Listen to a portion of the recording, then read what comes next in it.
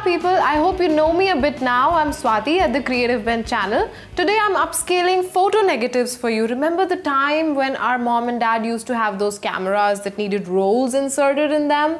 Yes, right, those difficult times. So my dad let me use his photo negatives and make them into napkin rings. Sweet dad. So let's just begin with the DIY.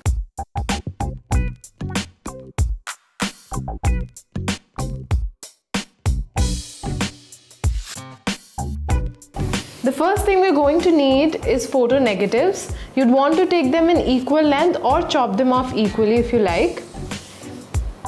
I'm using this golden thread. The idea is to pass it through these holes in a particular pattern. Now thread this through your needle. Now we're going to begin passing the thread through these holes. Leaving three holes here, I'm going to make a zigzag pattern.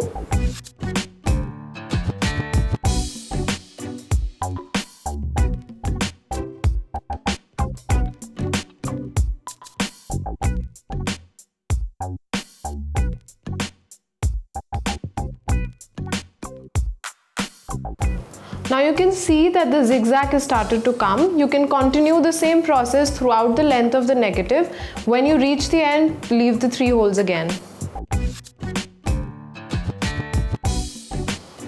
Now that we've reached the end, I'm going to fold this over. Overlap the three holes over each other. Repeat the same threading pattern so that this closes like a ring.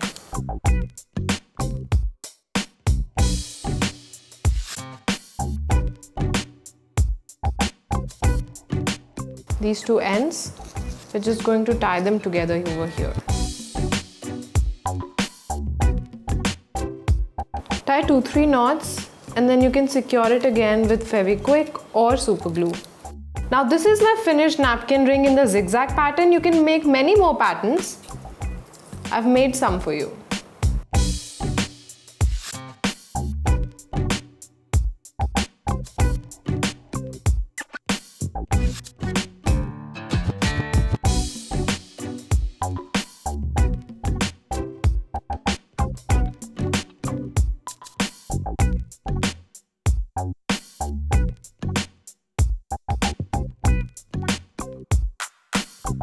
So those were the napkin rings right there and I might need to cook something along with it and I will but before that please like, subscribe and comment.